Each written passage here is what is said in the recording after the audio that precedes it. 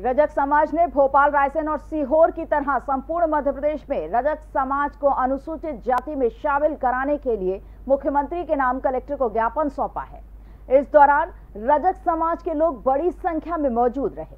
रजक समाज ने मुख्यमंत्री से मांग की है कि मध्य प्रदेश में रजक समाज की आर्थिक, राजनीतिक और सामाजिक और शैक्षणिक स्थिति दयनीय है।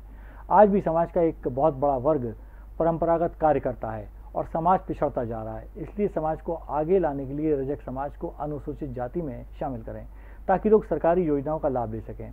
इस मांग का समर्थन करते हुए स्थानीय विधायक राकेश गिरी ने कहा कि रजक समाज की अनुसूचित जाति में शामिल करने की मांग को विधानसभा में मजबूती से रखा जाएगा और व्यक्तिगत तौर पर मुख्यमंत्री से इसको लेकर वे चर्चा करेंगे। आज टीकमगढ़ ज़िले की रजक समाज संघ द्वारा रजक समाज को अनुसूचित जाति शामिल करने का ज्ञापन सौंपा है। जी। और मैं इस ज्ञापन को माननीय राष्ट्रपति माननीय प्रधानमंत्री माननीय मुख्यमंत्री जी को भेजूँगा और इसके साथ साथ ही रजक समाज को अनुसूचित जाति में शामिल करने के लिए विधानसभा के पटल पर भी इस मामले को रखूँगा।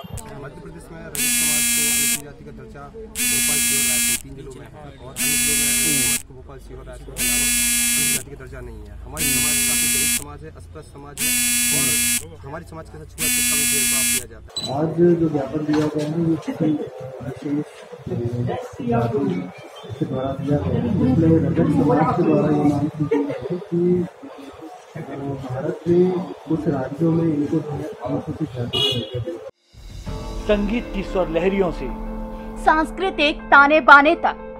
चंबल के पीड़ों से नक्सलवादियों के गढ़ तक झोपड़ी से महलों तक ठेलों से मेलों तक पगडंडियों से सड़कों तक गाँव से शहरों तक व्यापार से उद्योगों तक राजनीति से कूटनीति तक। दखन न्यूज़। आपके हक